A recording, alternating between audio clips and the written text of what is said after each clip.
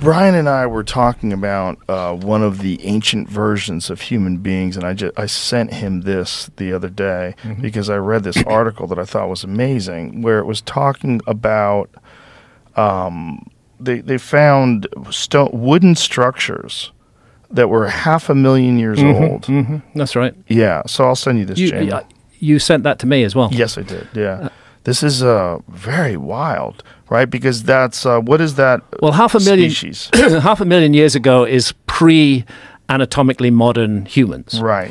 Uh, the earliest example of anatomically modern humans so far found is about 300,000 years, and that's from uh, Morocco. Uh, but there's a new new thinking going on now.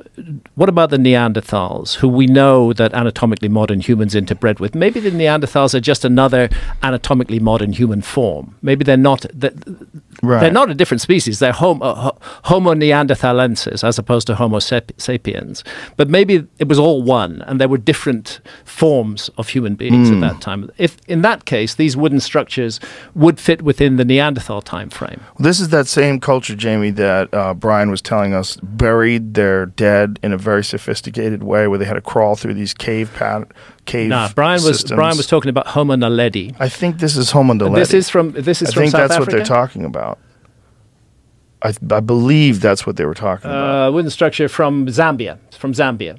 Uh, Homo, Homo naledi is in South Africa, and it is fascinating. And Lee Berger, uh, who I mentioned to you, Homo, a species similar to, Homo naledi. yeah, uh, See, Homo. How do you say that word? Homo naledi. no, the other one. Homo heidelberg. Heidelbergensis, Heidelberg, something, some remains found near Heidelberg in Germany. So this is what it says. We don't know exactly what species made the structure, but Homo. How do you say it again? Homo Heidel- Heidelbergensis heidelbergensis, or a species similar to Homo naledi. might be candidates. Yeah, Yeah.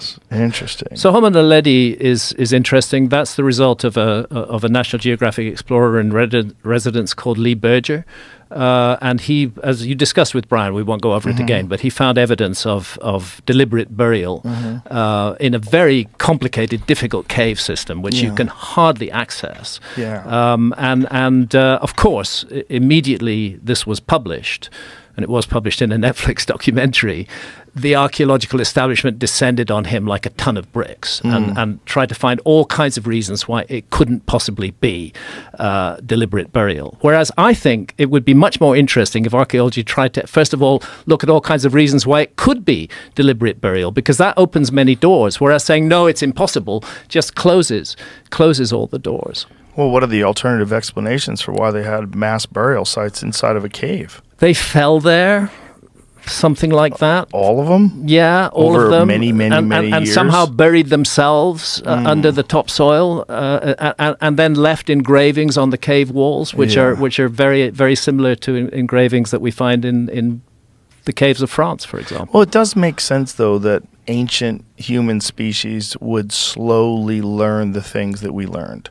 They would slowly pick up tool making, they mm. would slowly pick up the ability to harness fire. Yeah. And that as time went on, as the species became more sophisticated and more advanced, as it evolved, it would just refine those methods. Yeah, that, that, that, that does make sense. The, the, the question is, when did it happen? This is why this is why I sometimes wear a T-shirt, and I did on the last show with you, which says things just ke- stuff just keeps on getting older. Yes. Uh, and a lot of people don't understand what I mean by that. But what I mean by it is that archaeological discoveries are constantly pushing horizons back, but not considering the implications of that. It wasn't so long ago that anatomically modern humans were thought to be just 50,000 years old.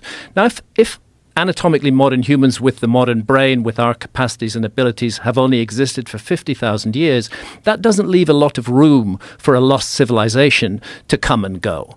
But then we find 196,000 years ago from Ethiopia, and then more recently 300,000 years ago from Morocco. And suddenly the expanses of time that have not been investigated, in which a civilization could have risen and fallen, become much greater.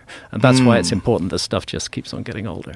Very fascinating also that the oldest known ones are from Africa. Yeah. And obviously, that's where Egypt is. Yes, and that's Yeah. that's exactly where Egypt Yeah. is, and and and uh, you know we must we must recognize Egypt as an African culture. Yeah. that is what the that is what the ancient Egyptians were.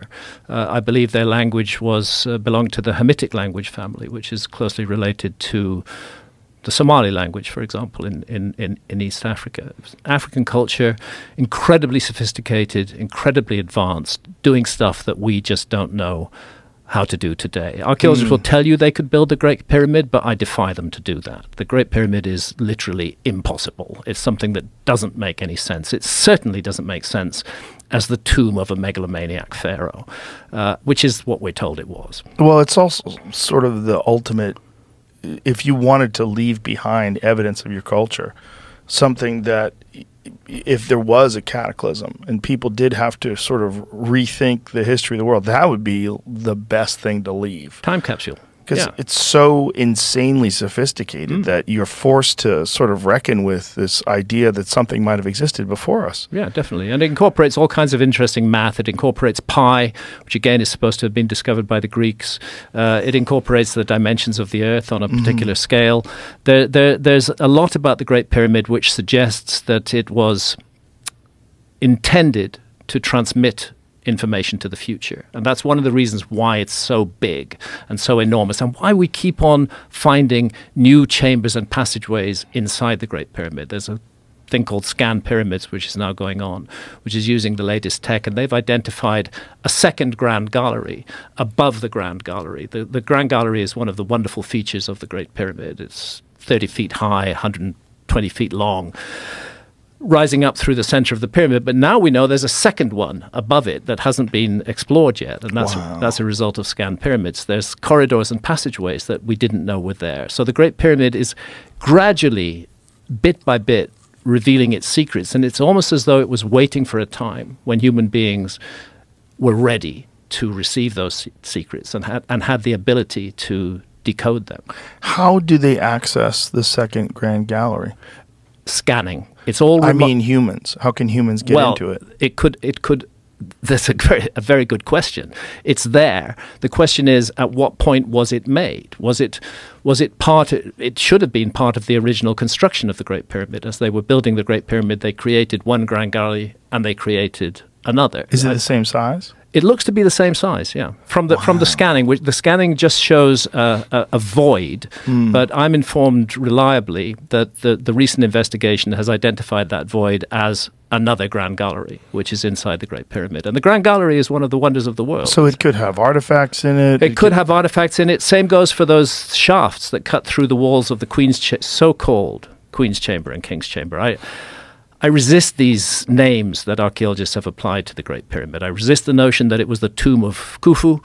Uh, I resist the notion that the subterranean chamber, which is 100 feet vertically beneath the